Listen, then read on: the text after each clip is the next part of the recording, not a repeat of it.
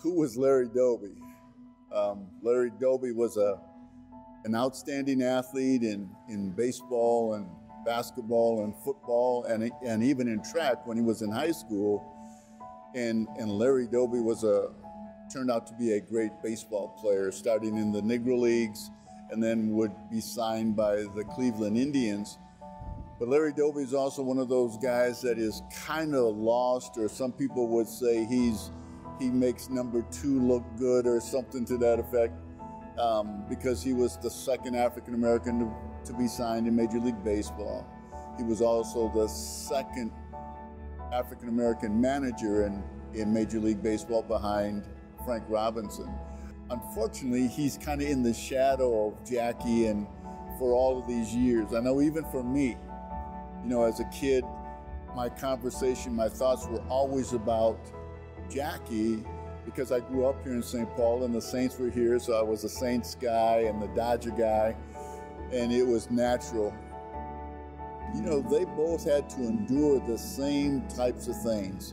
Uh, I know in reading one of the stories about Larry Doby when he signed, the first time he went into the locker room, there were guys that were his teammates that wouldn't even shake his hand. Um, and then when he would travel with the team like Jackie, he couldn't stay in certain hotels, couldn't eat places. You know, he was a, a great individual, um, a, a, great family man. I know one of the reasons it said that uh, Bill Veeck signed him was that he didn't drink, he didn't swear, and those kinds of things. And as he went through baseball and went through all of those indignities and became the player he was, I think that just added to his overall respect by others. I don't think Larry Doby is gets appreciated um, for how good he is or was. Um, I think he was an All-Star for seven or eight consecutive years. He led the American League two years in, with home runs, one year with RBIs. Outstanding center fielder. And around 1950 or something like that, the Sporting News named him the best outfielder, maybe even the best center fielder ahead of a guy named Joe DiMaggio.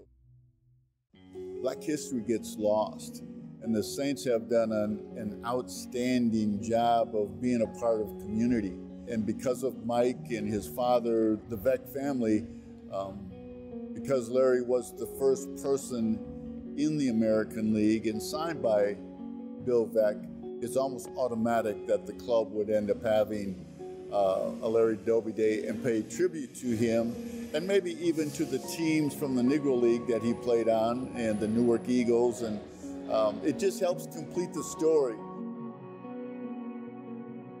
His impact is far greater than what we could ever give him credit for. I think the real baseball people, whatever that means, the statisticians and those kinds of things, actually know who Larry Doby was and his impact and the impact on the Cleveland Indians and winning a World Series and those kinds of things that most of us in the general public, we just don't know that unless you go dig for some of that information. So his impact on baseball, on the game, on, on players, on people, uh, respect, uh, respect for Negro League players uh, as he built his reputation became greater. So I think he his impact to me is is surely side by side with Jackie Robinson. And I, even though we see him as one and two, to me they're both breaking barrier individuals. One in the National League and one in the American League, and I don't think you can separate either of them.